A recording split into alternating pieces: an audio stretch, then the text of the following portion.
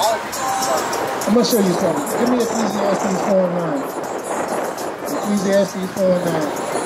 So, all praise to the Most High, bro. That you actually came by this way. That's all the Lord. Because He called we want you to see this. Ecclesiastes 4 and 9.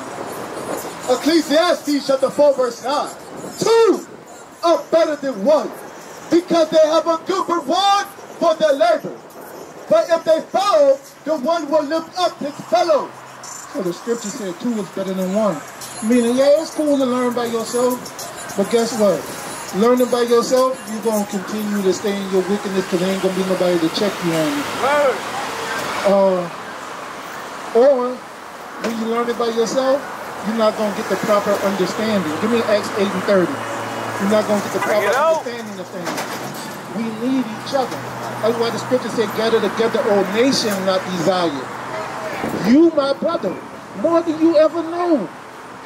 And guess what? That's why we come out here on this corner looking foolish to some people screaming on the microphone and everybody walking by.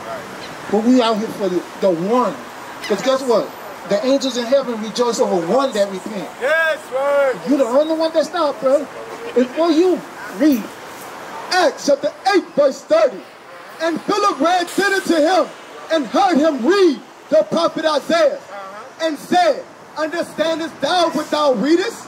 So Philip asked this Ethiopian eunuch, who he actually was an Israelite, he just happened to be from Ethiopia. He asked him if he was understanding what he reading. I see you reading the Bible, I see you studying. What do you need help with? That's what Philip is asking him. Let me explain this, let me show you. So that's what we want to do. We want to show you some things. We're going to show you Numbers 1538 right now. Because you know you Israel already. You've been studying a few months. All praise to the Most High. Like, know the day is empty. Right.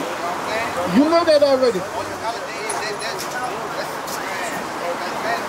Matter of fact, give me 1 Corinthians 8, 11. Give me 1 Corinthians 11. Because you, you may or may not know this, but we're going to help you right now. And, and this is going to be a little bit of repentance if you accept it. 1 Corinthians 11. First Corinthians chapter 11 verse 3. But I will have you know that the head of every man is Christ, and the head of the woman is the man, and the head of Christ is God. Every man praying or prophesying, having his head covered, dishonoring his head. So it says, every man praying or prophesying, having his head covered, dishonoreth his head. And it just said that the head of every man is Christ. So when you're in the spirit of prophecy, when this Bible is coming out, or if you're praying, if you have your head covered, you're dishonoring Christ. So right now, you are in the spirit of prophecy. All praises to the Most High. All praises. That's a, hey, that shows that you are receptive to what this Bible says and that you want repentance. Because that's a little bit of repentance right there, bro. All praise to the Most High. Now let's go back to number 1538.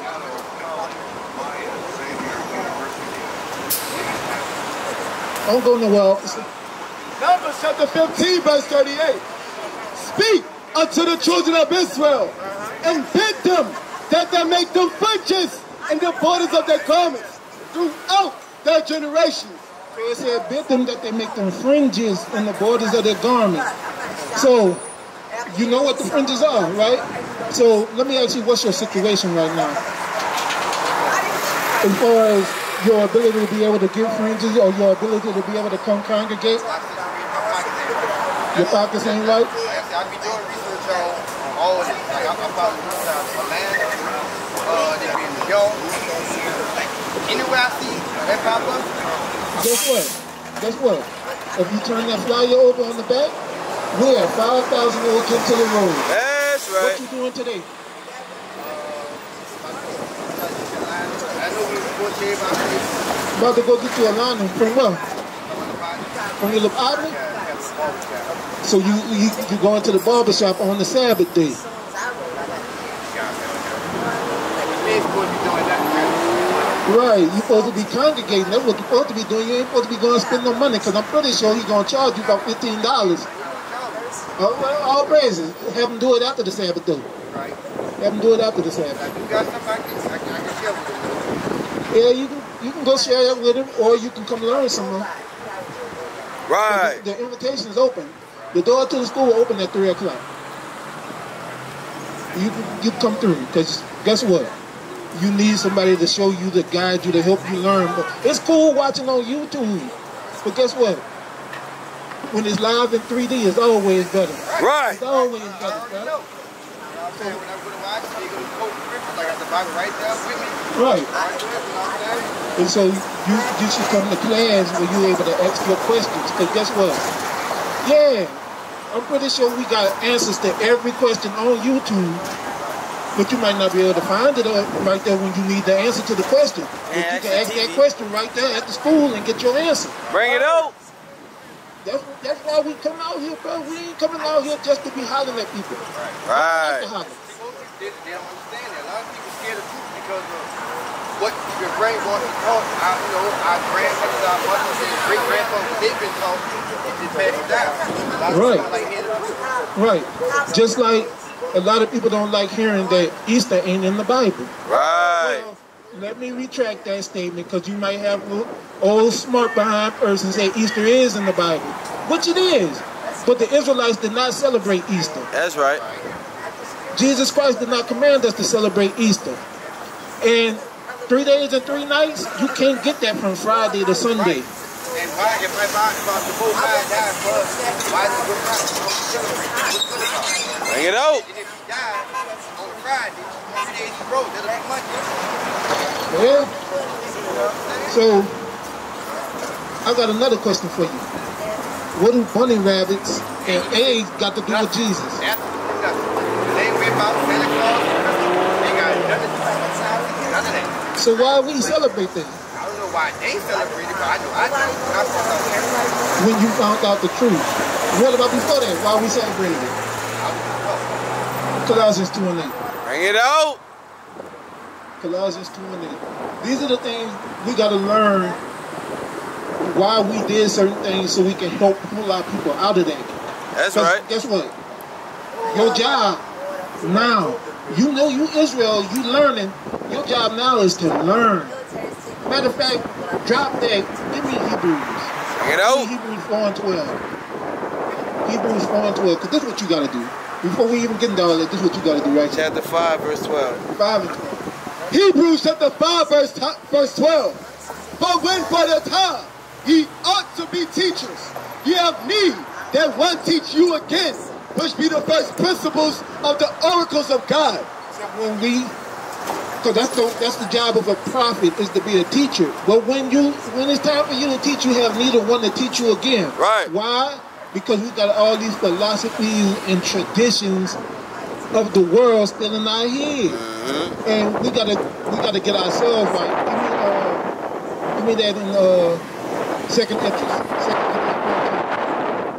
second Esdras 14 second Esdras 14 and start at verse 13 this, these are the things we got to do, and this is why you need to come around and congregate.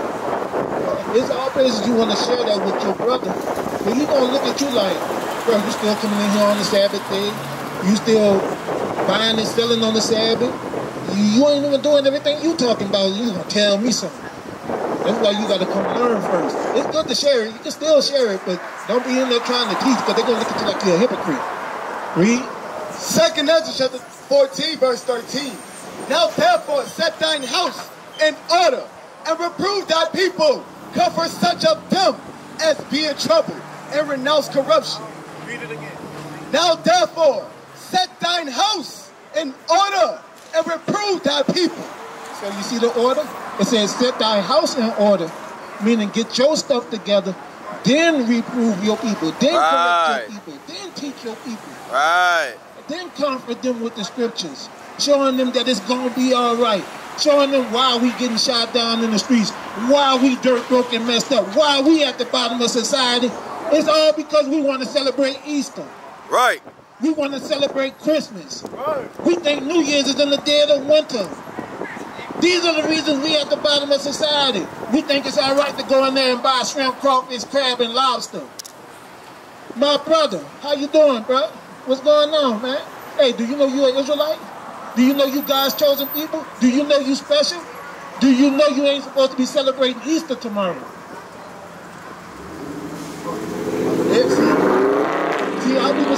They know. But a man will be known in his countenance. Man will be known by his look.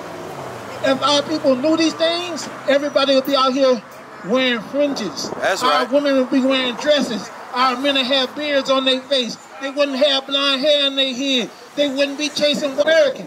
Ain't none of that in the Bible. The children of Israel, the 12 tribes, those that were colonialized, marginalized, and and put in slavery at the bottom of slave ships. That's who Jesus Christ came to save. Because guess what? The Arab, the Arab man don't need no saving.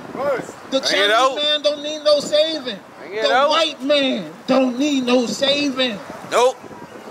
The only people that need to be saved is the people that's out here strung on, strung out on crack cocaine, strung out on heroin here in New Orleans, Bring it strung out. out on Christianity here in New Orleans. The blacks, Hispanics, and Native Americans. Those that, when the project got tore down, they moved right back into the same spot because they ain't no, nowhere else to go, doing the same things. They tore down the project. They gave you your, they gave you a lease to get away, but you're right back in the hood doing the same thing. Yep. Still on Washington and Broad, shooting up needles and shooting each other. Bruh, come on.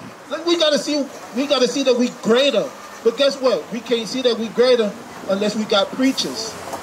Real preachers. Give me that in Romans 10. That's the fact you get a big person every they want. Stop it. Here's the thing. You can't wake up if they ain't teaching you the right thing. Romans 10, you know what I want? Start at 14. Romans chapter 10, verse 14. How then shall they call on him in whom they have not believed? And how shall they believe in him of whom they have not heard? How shall they hear without a preacher? It says, How shall they hear without a preacher of him who they have not heard? Because they have not heard that Jesus Christ is a black man. Right. He's the tribe of Judah. If he walked the earth today, you will be called a so-called African American. They have not heard that the blood that flows through his vein flows through your veins. They haven't heard that. They haven't heard that Jesus Christ ain't died for everybody. They haven't heard these things. They haven't heard that Jesus Christ only loved the black Hispanics and Native Americans. They've been taught a lie. They've been taught the lie that Jesus Christ came and died for the whole world. Why would he die for people that hated him? The world ain't love Jesus Christ. You know why they ain't love him? Because he was black. And they don't love us, so they ain't love him. Read. And how shall they preach except he be sent? They said, how shall they preach except they be sent? Because guess what? Your TD Jakes, your Creflo Dollars, all these pastors in these Sunday churches, they ain't been sent to God. Bring it If they out. were sent to God, they would teach these commandments. Right. They would teach the laws of God. They would be out here on the corners, sighing and crying, being a spectacle. But they ain't doing that. Right. They're trying to get in your pocket. Guess where they're gonna be at tomorrow? They're gonna have Easter Sunday service tomorrow. Right. You know Bring it what out. Easter Sunday service is? As worship at Astaroth, a Canaanite goddess of fertility and springtime. They ain't got nothing to do with the Bible, ain't got nothing to do with Jesus Christ, ain't got nothing to do with black people. Bring it out. Read. And how shall they preach except they be sent? As it is written, how beautiful are the feet of them that preach the gospel of peace. And this is the gospel of peace. Because a lot of people might think this is hate speech. But telling the blacks, Hispanics, and Native Americans that they are the greatest people on earth is the true gospel. That is the gospel of peace. That's what Jesus Christ taught. That's what we're going to teach. And that's what you need to learn, bro. That's why you got to come around and congregate. That's all praise to the Most High you watch. Now it's time to start putting that to action.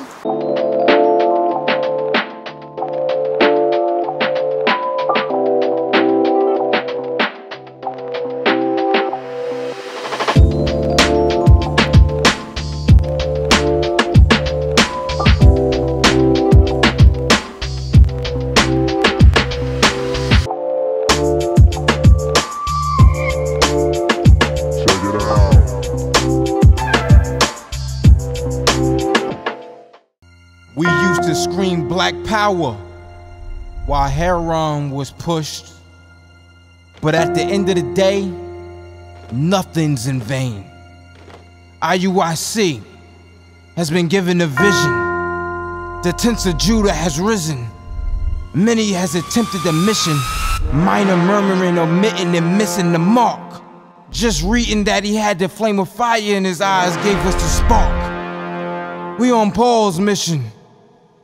We out on the road, purple and gold, from Mexico, Cuba, Haiti, Ghana, Sierra Leone. 144,000 boots banging, concrete crackling. These are our men repented at heart. The scriptures is proof. IUIC, we deliver the truth.